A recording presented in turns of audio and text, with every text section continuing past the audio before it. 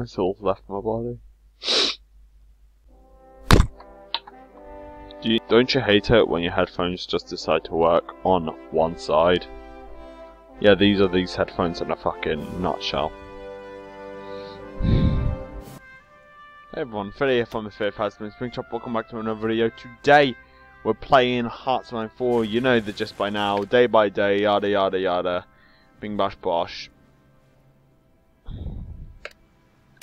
Right, so I'm actually not too sure on what's going to happen. Now, I'm not going to say that it's going to be a victory per se. Alright, don't don't think this is going to be an immediate victory. But yeah. Right, alright, cool.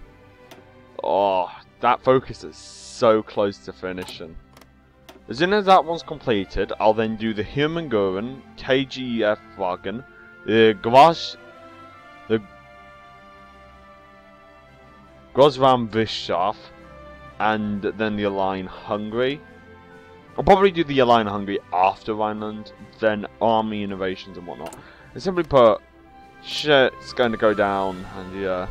My ultimate hope is to conquer the Soviet Union. I'll probably annex only the European part of it and um, probably just release the rest as a puppet or something. I don't know. Uh, for Britain and France, they're just going to be annexed. Canada will have to go to Italy. Um, and United States, well, I'll just annex myself. yeah. I don't know. I'm, I'm, I'm, I'm dying here. I really am dying. Uh, do we have any aircraft to deploy? Answer's a big fat fucking no.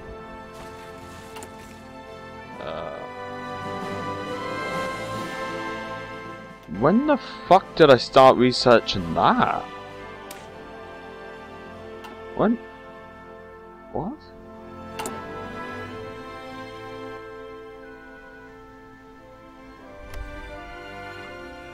Must have been a couple of days ago. I don't know why I started researching that.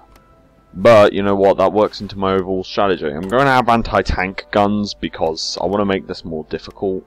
Because I don't want this to be an easy game, alright? I want this to be difficult, I want this to be a challenge. I want you to be on the edge of your seats once the war kicks off.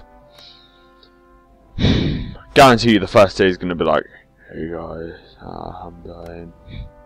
Fucking hell.